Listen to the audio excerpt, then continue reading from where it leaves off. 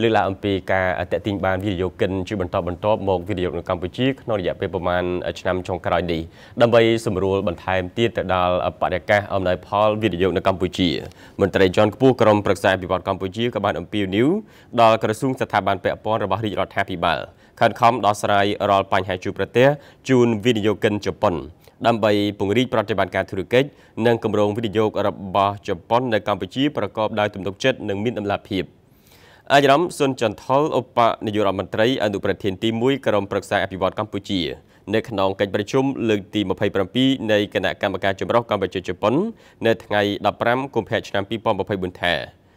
អាដាមបានថ្លែងដល់គុណជូនចំពោះវិនិយោគិនជប៉ុនទាំងអស់ដែលបានពង្រឹងនិងពង្រីកទៅលើប្រតិបត្តិការធុរកិច្ចនិងគម្រោងវិនិយោគរបស់ខ្លួននៅព្រះរាជាណាចក្រកម្ពុជា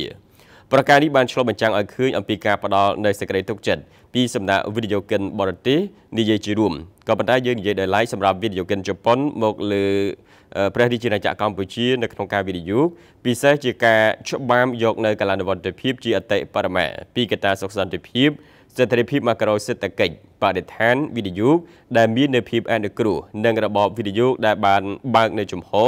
នៅក្នុងការទទួលវិនិយោគិនគ្រប់ជាតិសាសន៍ ប្រកបដោយតម្លាភាពដោយមានភាពអំណោយផលសម្រាប់ការវិនិយោគនិងធានាបាននៅភាពប្រកួតប្រជែងពេញលេញដោយសមភាព និងគ្មានការរើសអើងនោះឡើយ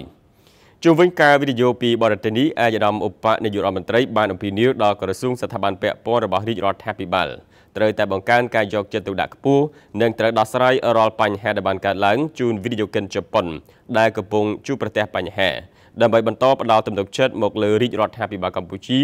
ក្រោមការដឹកនាំប្រកបដោយកតេបណ្ឌិត របស់សម្ដេចធិបតីហ៊ុនម៉ាណែត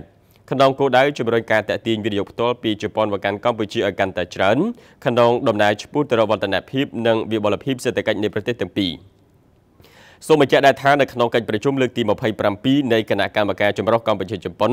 ក្នុងនោះភាគីជប៉ុនបានស្នើសុំជួយដោះស្រាយលើបញ្ហាចំនួន5ដែលរួមមាននីតិវិធីរដ្ឋបាលដែលមានលក្ខណៈស្មុគស្មាញប្រសិទ្ធភាពនៃប្រព័ន្ធនីតិវិធីពន្ធការអភិវឌ្ឍហេដ្ឋារចនាសម្ព័ន្ធអគិសនីការបង្កើតប្រព័ន្ធច្បាប់ និងកម្រិតនៃថ្លៃពលកម្មជាដើម។